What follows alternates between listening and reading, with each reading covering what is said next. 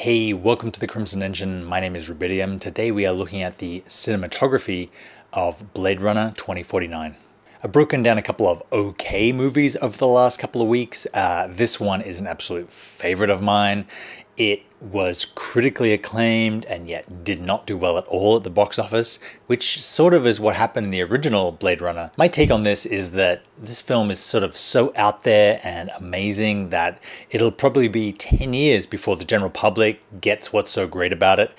Then it'll have special editions and all the things that the original Blade Runner had. And other science fiction filmmakers will probably be ripping this off for the next 30 years until they forget how poorly this one did and make a third. But there is lots of amazing innovation, lots of incredible production design and camera work in this film, awesome performances. So without further ado, let's jump in and look at the cinematography of Blade Runner 2049.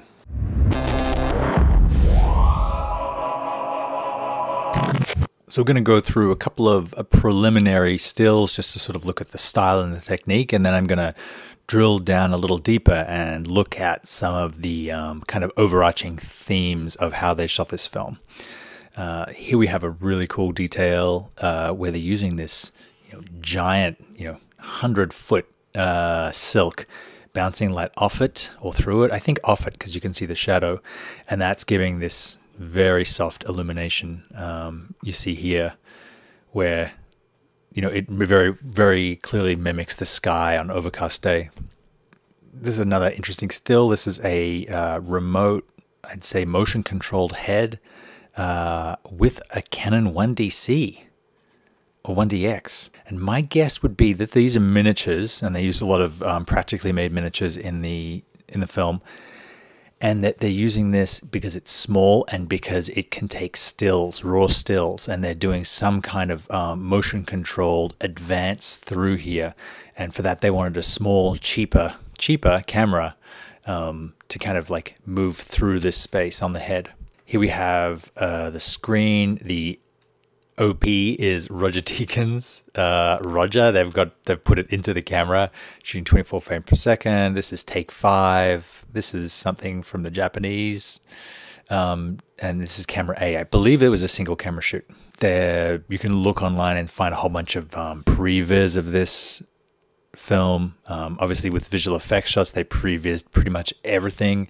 If you don't know, a previs is sort of a you know high school level animated visual effect of the entire movie where you have little these little uh, people um, moving through but it's it's lit basically.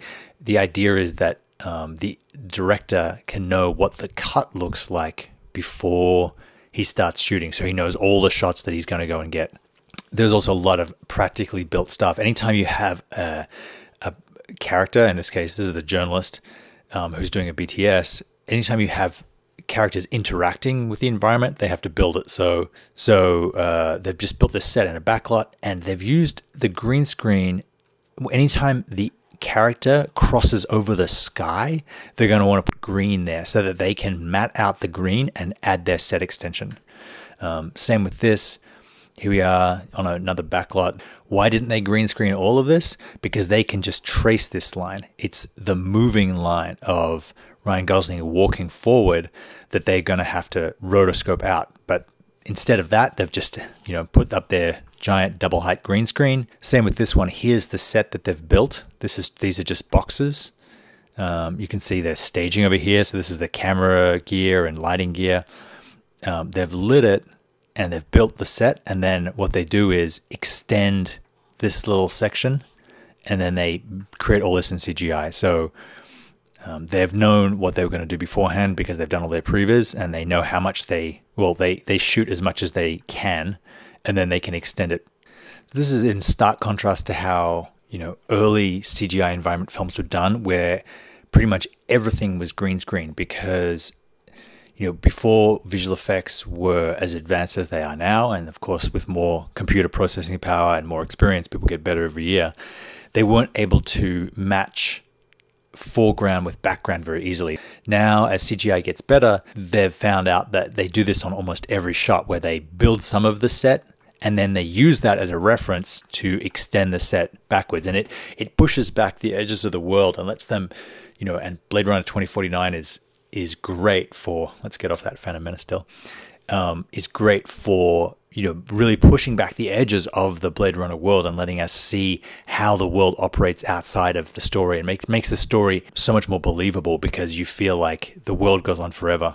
Interestingly, this is kind of a throwback to to early visual effects. This is Citizen Kane where they shot the cars going along a road and then they would extend that uh, optically, not digitally.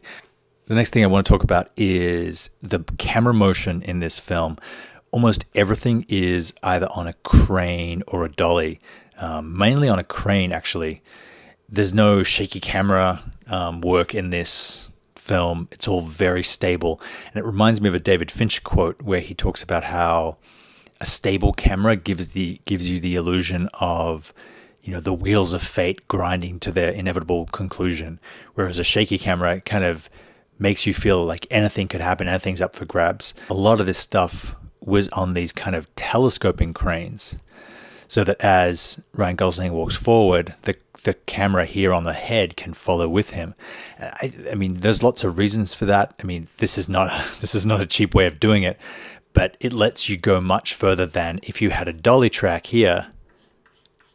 You could only start start the shot as far back as you could start to see the dolly track in shot. So with a telescoping crane, you can get much further back. You can crane forward, um, extending that, or even roll on the wheels, and you don't have to worry about dolly track. This is really interestingly lit. Um, this is an exterior, but they're shooting it in a studio. They've got their space lights up here, then they've got their like light bar um, to give him this crazy backlight. Uh, Roger Deakins, BSC, ASC, PhD, uh, shot this movie, and he's famous for using these um, this remote head and these uh, wheels. This one's called the Power Pod. I believe it's kind of an older setup. Uh, so he's watching the monitor here, and he's controlling the camera, which will be on the crane on a head. Uh, PowerPod Classic remote head camera system. So you have this this uh, little box that opens up. It has a wheel here and a wheel here, one for um, tilt and one for pan and using these, he can get very slow, smooth um, camera work, much like the early days of Hollywood, where you had a geared head uh, because the cameras were so big you couldn't move them manually. Well, you can now, but this is sort of a throwback to that. And uh, I think this one was like eleven thousand dollars. You can get it. You can get it online. DJI uh, sell this awesome thing called the DJI Master three wheel axis. I think this is like eight thousand bucks. You know, three different axes. It's remote um, rather than wired, and uh, you know you can get a two wheel one as well. So if you have a, uh, a gimbal or you have even the Ronin S, which I'm going to review next week, has uh, the ability to accept messages from these and like you can start doing your own uh, Roger Deakins if you like. So the last thing I wanted to talk about on this film is another tendency of more and more blockbusters are doing, which is building the lights into the set. Uh, here is the girl in her sort of isolation chamber, um, creating memories, and all along here and all through here is lit by um, LiteRibbon, which is a high output um, LED, very small on dimmers, running through the whole room. And in the ASC article, Roger Deakins talks about how this is how this whole set was lit with, you know, with uh, LiteRibbon running through the set, and it means that you can have you know total control over the amount of light where it's uh, not where it's coming from, but um, you can also shoot in 360 degrees around your subject and know that you're never going to see lights because the lights are built into the set. Um, same as this uh, Luv's really epic office where you have a one light source um, with a really probably you know LiteMat uh, you know two four Ls or something uh, with a kind of probably very shallow dish full of water with a wave maker in it. So it gives that it gives a moment caustic kind of interruption to the light, and then that's you know shooting down and spilling on all these walls. I mean, it looks like that's how the scene is lit. There's no other lights coming into it.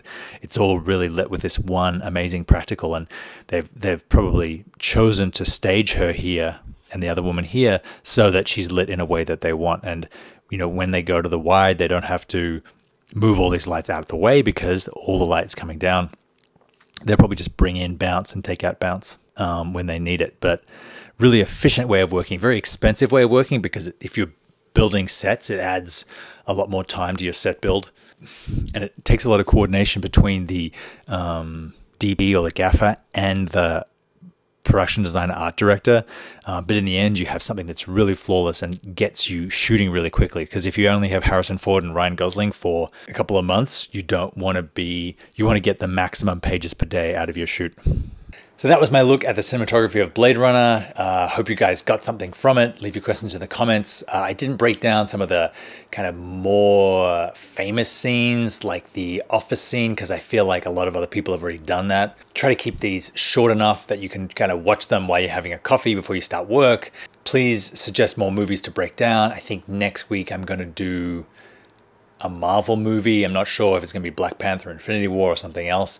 Uh, but I you know, really feel like they don't do a great job of creating a powerful um, imagery. I'm kind of interested to know why. Again, thanks for watching. I will see you next time.